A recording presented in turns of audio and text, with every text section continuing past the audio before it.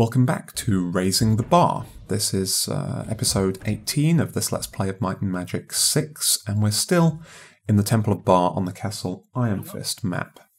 This is the second half of a two part episode where we're doing this dungeon. We sh- should see it through to completion this time through. As you can see, we're watching an accelerated playthrough, about 400% original game speed, which should keep the episode length nice and short.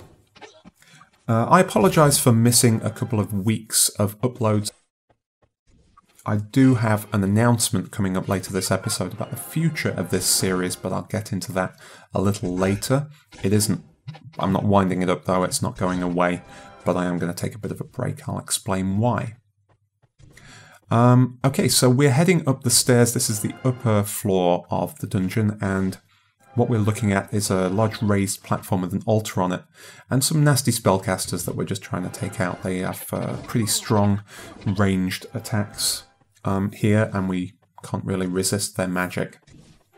Um, there's going to be a lot of uh, a lot of combat uh, against large waves of enemies in this episode, so um, I'll sort of uh, come in and out of talking about what we're seeing on screen um, I do want to talk um, at some length, though, about a specific puzzle in this dungeon, which is a bit of a mystery uh, in the Might and Magic community. It's going to pretty much fly by on the video, but I want to talk about it at some length. Um, and that's the central room in the uh, the central sort of chamber in the middle of the first room. Uh, there are four doors um, one on each side of this chamber, north, east, west, south. Uh, and they have to be opened in a specific order to be able to get through them. Now, you can brute force this puzzle pretty easily because if you activate the door in, at the wrong point in the sequence, it hurts the party. So you can work out fairly trivially what the right sequence is, uh, which is northeast, west, south, like news. Um, but it feels like there's a, elements of a puzzle here that pose a bit of an unsolved mystery in the uh, in the community. Uh, no one really knows how you're supposed to work out this puzzle. But there are clues, and it's just a matter of trying to work out how the clues relate to the solution. Um, is is a little tricky. By each door, uh, there is a, a plaque that uh, has a, a message on it. The message is the same on each of the four doors. It says, um, As the winds blow, the seasons change, and only at the end of all uh, can the doors be opened. As you can see here, big ambush moment there, standing on that uh, raised platform. Um, so that's the text. Uh, it's the same on all of the plaques, but the material uh, the, that the signs are made of uh, against each door is said to be different. Uh, there's one wood, one silver, one copper, and one um, lapis. Um, and in fact, that's the that's the sequence in which you're supposed to activate them, right? Wood, silver, copper, lapis. So I've been really trying to rack my brains, trying to work out this puzzle, or trying to find any sign of anyone else ever having done so and it's it's not clear to me. It's quite enigmatic. What? How does this? These are obviously clues to the sequence. They wouldn't be in there extraneously. So how are we supposed to work out the sequence there? So I had a couple of theories on this. I don't know which one is true. None of them really feels correct. Um, but one is sort of trying to trying to parse this um, this text on the sign as some sort of a riddle, right? So, as the winds blow, and I wonder if this is to do with directions, right? Is winds change direction? They come from different directions. So maybe that's just saying as the winds blow, like you're supposed to. Directions are important in the puzzle. Maybe the seasons change, and that made me think. Um, okay, so maybe um, this sequence wood, silver, copper, lapis maybe that's supposed to map to the to the seasons, the sequence of the seasons. and you can kind of see it, but but not really, not to the point where I think you could solve the puzzle that way. Say say you go spring, summer, autumn, winter, and then you're supposed to relate one of these materials, um, one of these sign materials, to each of those in sequence. Well, I can see why lapis might be winter because lapis is a is a deep sort of icy blue and copper for autumn, similarly, makes a lot of sense to me, but I don't know why summer would be silver. Um, and I don't know why spring would be wood. Well, spring could be wood. I suppose trees start to bloom in spring, but silver for summer, they kind of sound a little similar, but I, I just, no, I, I, I don't get that. I don't think that, you, that, that's sort of a, it's kind of a fit if you look back on it afterwards in retrospect, but I don't think you can solve the puzzle that way. I don't think it makes enough sense. So here's my here's my current working theory. This is my best theory that I have so far. It's about the words in the riddle. I think.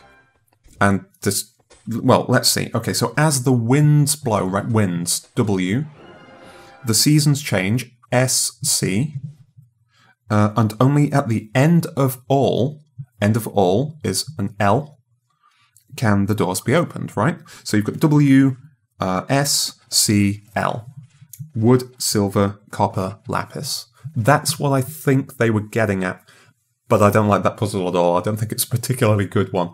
Um, uh, the fact that it's so obscure, uh, and the fact that it's so easy to brute force, um, doesn't really lend itself to figuring it out. Um, I, I, think that's the I think that's the answer. not my favourite puzzle in the game, I have to say. We're still clearing out all these uh, these skeleton lords and things from the ambush earlier, uh, and uh, there's quite a few uh, st stragglers that we still need to mop up, so that's going to take a while. But yeah, we'll go down and uh, after we've cleared this one out, I think we go and open that central chamber uh, that I was talking about. Do let me know if you think that that theory holds any water, if you've got any competing theories for this puzzle. It really is something that uh, has caused a lot of people a lot of mystery uh, over the years. Uh, but that's my best guess as to what it means. I, I can't find any any sign of anyone ever proposing that, but it's just, I can't think of anything else that makes any more sense than that, even though that doesn't make a great deal of sense. Uh, so I think we just, uh, no, we just got a couple more stra uh, stragglers there. Um, but yeah, after we're done here, uh, we will go and face a few more ambushes and things. The loot in this dungeon is actually pretty good. We're going to find um, a fair amount of gold, and we're getting quite a lot of experience. Oh, there's the temple gong that I mentioned earlier. Um, that's worth a couple of thousand. Um, we're getting a fair amount of experience. Oh, secret door.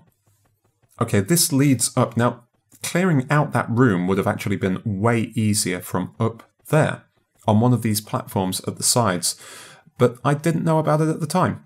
Um, I could have just uh, used a bow from up there and cleared out a lot of those, I think with a lot less hassle and grief than, uh, than how I actually did it. Uh, okay, so we've explored most of the side rooms now. Uh, we're just heading down and into back into the main room and uh, trying to find that central room, and then we're going to find our way out to the treasure room uh, to to mop up the the spoils of battle. Um, okay, yeah, so I said I was going to make an announcement uh, about the future of this series. And uh, what I meant by that is that I'm just going to put it on a little bit of break. Because I only have a certain amount of free time to work on videos, and these Let's Plays are actually a fairly time consuming thing.